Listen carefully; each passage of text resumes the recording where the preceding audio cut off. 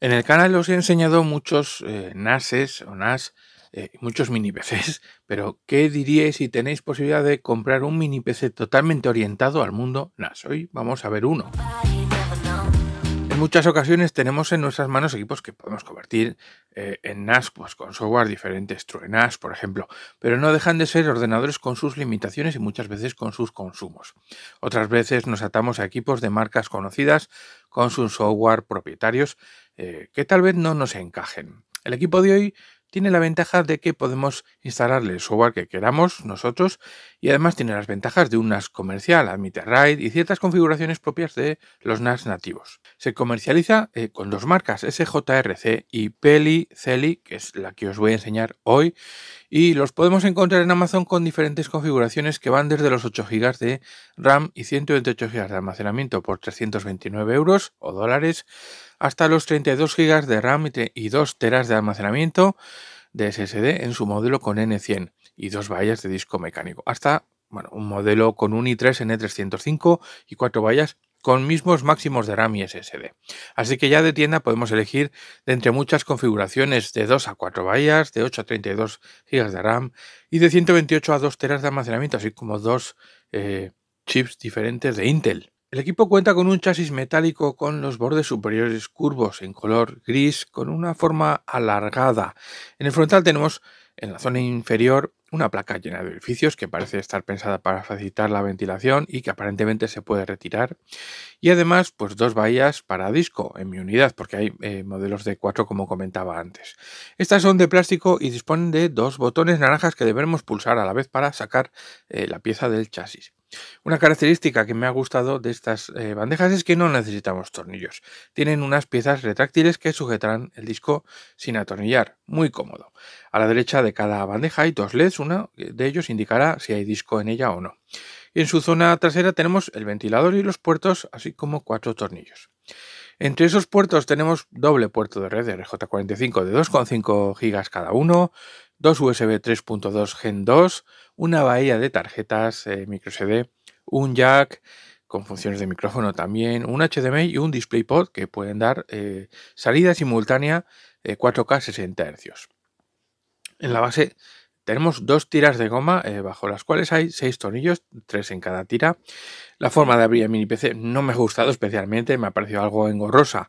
Tener que levantar las gomas para desatornillar, pues es una muy mala opción, ya que eh, estas ya no vuelven a quedar, cuando las pones no vuelven a quedar igual, no pegan igual, eh, se quedan un poco levantadas. Creo que hay muchas alternativas para abrir un equipo mejores que esta. El núcleo de este, este ordenador está en una plaquita base de minuta, difícilmente se saca, no me ha gustado este sistema. En ella está pues la valla para la RAM y un M2 para el SSD y bajo él hay otro M2 para una posible tarjeta Wi-Fi. La RAM es de DDR5 y admite un solo módulo de hasta 32 GB. En mi caso tengo uno de 8. Eh, en mi modelo hay dos vallas eh, SATA que admiten conexión en caliente. Como tengo todos los discos de NAS en uso, pues para efectos del vídeo he comprado un Seagate normalito para hacer las pruebas. Junto al NAS, en el embalaje bastante elegante, por cierto, y muy bien protegido, documentación, tarjeta de garantía y fuente de alimentación de 19 voltios y 4,7 amperios.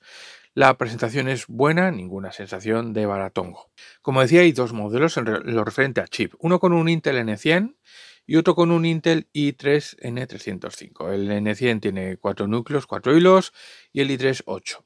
Hemos visto pues multitud de veces este N100 en otros mini PCs, ofrece muy buen rendimiento en todo lo que no sea juegos, un procesador que invita a usarlo no solo con Windows, sino con otros sistemas operativos, especialmente para entornos de NAS y de red. Y en cuanto a RAM, 8 GB de DDR5 a 4800 MHz que podemos ampliar con un módulo de hasta 32. Para hacer de NAS pues va a sobrar, pero si queremos instalar un sistema de virtualización, bueno, pues habrá que reemplazar ese módulo. La placa tiene una bahía M2 PCI Express 3.0 de 2 LANes. Tiene una velocidad de transferencia teórica máxima de 1970 MB por segundo. Esto eh, se debe a que cada carril PCI Express 3.0 pues, puede dar hasta 980 MB y al tener dos pues tenemos pues eso, 1970. En mi caso está ocupada por un 2280 de 128 GB. Respecto a las dos vallas SATA 3, como he indicado, Podemos añadir disco en caliente, están pensadas para discos de 3,5, por lo que si queremos añadir discos de 2,5 o los típicos discos de 2,5 de, de SSD que tenemos por casa seguro que a patadas, bueno, pues necesitaremos comprar un adaptador. El equipo viene de fábrica con un sistema operativo, el Open Media Vault, eh, preinstalado en el SSD interno. Es un sistema de código abierto basado en Linux y orientado totalmente a servir como servidor de ficheros como NAS. En realidad esto es un ordenador completo, podemos retirar el SSD de fábrica y poner uno con Windows, por ejemplo, o PFSense o Proxmox. Para el vídeo lo voy a dejar como está, para el vídeo de hoy en concreto. Podemos conectar a mi PC eh, a una pantalla, bueno, a dos realmente. Podemos conectar también teclado y ratón y usar el entorno de comandos de Linux o bien podemos acceder vía web. En este sistema podemos hacer tareas básicas, el Open Media Vault, que es como digo orientado a NAS. Podemos definir pues, grupos de usuarios, podemos definir eh, usuarios también con sus diferentes permisos, habilitar compatibilidad con SMB, NetBIOS, etc. También podemos habilitar servicios como FTP, el SSH, eh, por supuesto, crear unidades y establecer los tipos de RAID y de sistemas de archivos. Aquí es la diferencia con un mini PC normal. Aquí podemos establecer sistemas de RAID. Hay una sección para añadir plugins al Open Media Vault. Bueno, mm, la lista de plugins, bueno, es bastante limitada, no es tan extensa como en un Synology o en un Asus Store.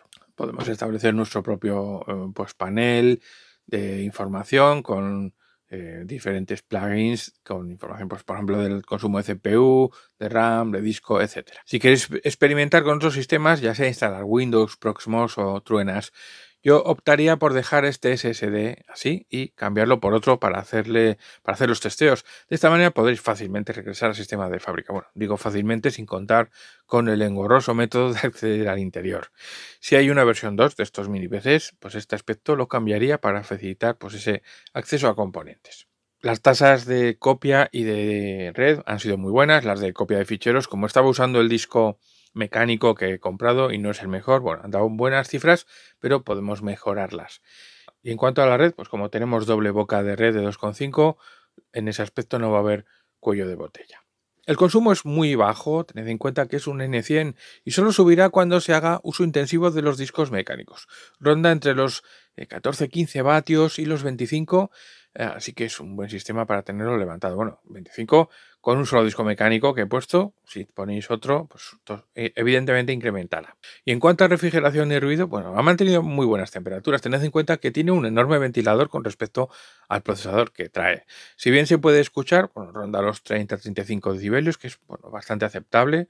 O sea que no no, se va, no va a ser un problema en un salón, por ejemplo. Hora de las conclusiones y de suscribiros al canal si no lo estáis todavía, así como de seguirme en redes. Se trata de un dispositivo curioso, un buen aparato si queréis jugar con diferentes sistemas operativos y que podemos orientar pues, de diferentes maneras. Podemos instalar un Proxmox y virtualizar, eso sí, ampliando RAM y dentro de estas máquinas poner un NAS y un Windows para escritorio remoto, bueno, lo que queramos. Podemos plantearlo como lo venden, un sistema de NAS, aunque eh, con el Open Media Vault lo veo algo flojo, a años luz pues de un sistema como el ADM de Asus o el DSM de Synology, pero bueno, está listo para jugar con él.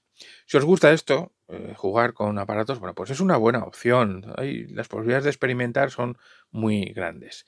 Tiene un buen rendimiento, el N100 mm, siempre va bien en esas tareas. Y si bien el puerto PCI Express M2 no es el más rápido, pues será suficiente para un rendimiento doméstico. Las dos bocas de red de 2.5 han dado el máximo, así que bueno, en este aspecto está muy bien. Ahora, es vuestro turno. ¿Os gusta este dispositivo? ¿Queréis ver más vídeos sobre él con otros experimentos? Si es así, dejadlo en los comentarios y nos vemos en el próximo vídeo. Un saludo. Bye.